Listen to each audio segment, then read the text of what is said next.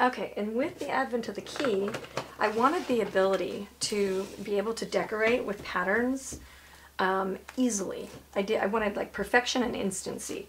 So we came up with a six by six stencil size, and they have holes drilled in the side and a screw post that will attach them. So you can make your own stencil fan deck. These two little things come across, come out like that, and then you can put however many. And we actually are starting to go ahead and have all of our stencils made with um, a screw post hole in an, any size. That way you can just put your own collection together.